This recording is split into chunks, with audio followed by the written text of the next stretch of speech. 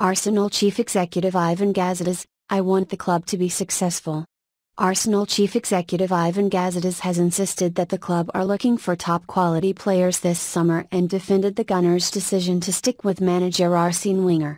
The longtime Arsenal boss came under fire from supporters during a campaign in which the club finished outside the top four for the first time since 1996, Wenger's first year in charge. However, Wenger was given a new two-year contract after leading the Emirates club to the FA Cup title in May. And Gazidis believes it was the right decision for the club. It wasn't a sentimental decision, Gazidis said at a Q&A with fans. It was a mutual one.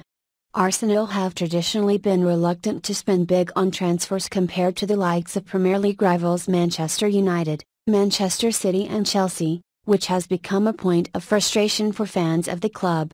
The club spent more than £30 million for each of Granit Xhaka and Shkodran Mustafi last summer, and are looking to make further investments into the team this summer.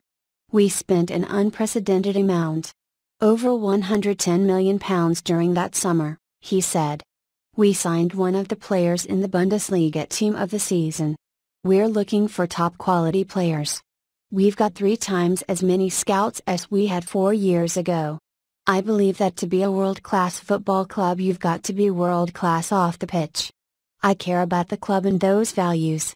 I want the club to be successful. Gazidis also defended Arsenal majority owner Stan Kroenke, who last month received a bid of $1.3 billion for his shares from minority owner Alisher Usmanov, a source confirmed to ESPN FC.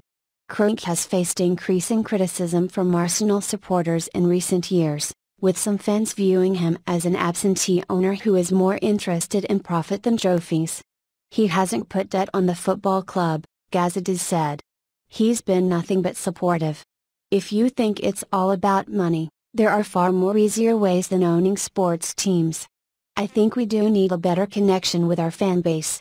I was telling someone recently I hadn't had an hour of my time since the end of the season which wasn't about club business. The goal is to win things for this football club and do it in a way which is consistent with our club values.